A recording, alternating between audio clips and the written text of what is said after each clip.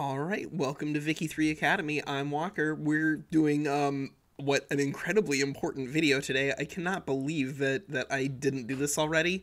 Um especially because having looked over this tooltip, it's wrong. Uh but we're doing legitimacy. So, legitimacy. What is legitimacy and why is this tooltip incorrect?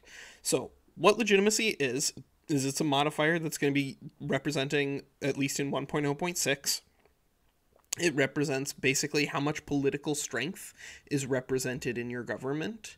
Um, and that's going to be coming from first um, the distribution of power. That's going to have permanent legitimacy values that are just like available for you um, just because it's going to be easier to maintain the legitimacy of a democratic government. You know, pe- people like buy into the legitimacy of the government if there are some mechanisms in place for them to vote on it. Um, if you're an autocratic government, then you have this legitimacy from including head of state. So what that means is um, head of state in government. If you see head of state in government as something like right here, um, head of state's interest group is in government, that can give you a bonus to your legitimacy. So that can come from your distribution of power, or it can come from your governance principles because you'll see government principles also gives you legitimacy from specific things. And that's going to modify the way that your your clout and your legitimacy is distributed. But that's not what the tooltip says. The tooltip says something about like measures how well the composition of interest groups in governments fits with the country's laws. That's not true. That's that's not true. I don't know why it says that.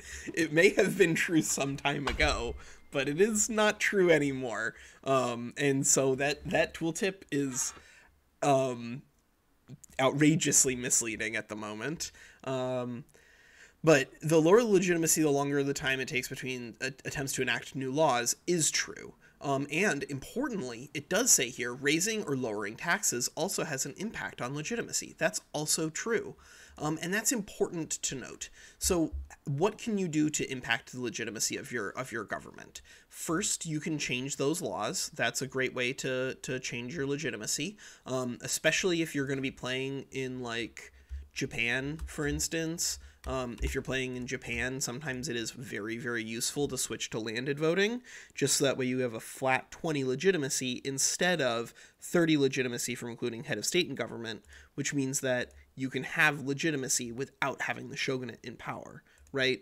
Because if, if you if you had to have the shogunate in power, then by switching them out, we can we can even just fast enact this. I'll just show you. Um, so now we're down to 11 because we don't have the shogunate in power and we don't have that sort of all that all that jazz music online.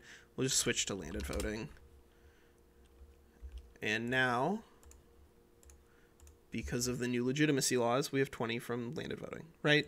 So, so the laws are going to have an, a really important impact on the legitimacy of your government, as will the clout for the the parties, as well as the number of them. So you can't just put absolutely everybody into your government, otherwise you'll have no legitimacy. So what you typically want to do in order to design um, a government that will actually allow you to get stuff done is you typically want to have like one or two um, IGs or parties with just a ton of clout. Um, which, if you want to know how to use clout, then check out my IG series. I talk a lot about how to influence clout in there. Um, but you want to have like one or two big important IGs that kind of add legitimacy to your government both in a mechanical sense as well as a, in a real sense, right? Um, the fact that you're associating with a party that has a lot of political strength lends legitimacy to your government. And then you add in like a party that has the laws that you want to be working on. And then that alliance will give you both the legitimacy to function as a government and actually be able to hit um, the like times that you need in order to actually roll on this. Um, not to mention the fact that then you can work on the laws that you want to be working on. Um, so that's that's basic legitimacy. When you have uh, parties, then the parties are treated as one object. So um, here, the legitimacy, we can see the size of government is at minus 20, and that's because we have uh, more than one party in here. Um, if we were to kick the landowners out, we would actually, despite having less total clout in our party, um, or in our government, we would have higher legitimacy because we're not dealing with a penalty of having these landowners just kicking around being problems. So sometimes it can be it can be useful to have a a smaller focused government. Um, and that's just something that you're going to have to make for yourself in regards to balancing out your legitimacy and the laws you want to work on because that's really what you're doing there, at least until 1.1. When 1.1 drops, um, I'm probably going to redo this legitimacy video because it really is something that it looks like it's going to change a lot.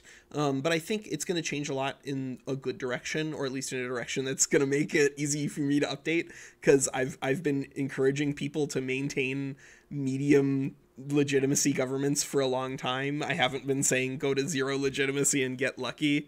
Um, so so I'm feeling pretty good about the the evergreenness of some of the videos but but let me know if you feel like you learned anything from this legitimacy video and if you if there's anything that you still want to learn about legitimacy. It's it's a it's pretty pretty much just this um this tooltip right here. And that that first line of this tooltip is just not not useful.